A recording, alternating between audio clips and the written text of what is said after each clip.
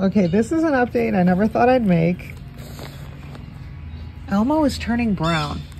Yeah, I know he's got some weirdness on him. He's getting a little beat up in the whole mating thing. But check him out. He's turning brown. He used to be black. So I've seen reddish squirrels turn black. I don't think I've seen black squirrels turn red. But I just started noticing it. And even in the rain, you should see him in the rain. So yeah, he's turning.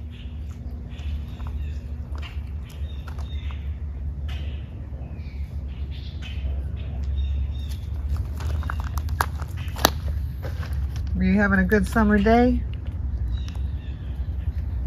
This isn't Elmo. But I thought I'd add it for some ballast to the video. Since Elmo ditched me after I took that first video, I don't know where he went.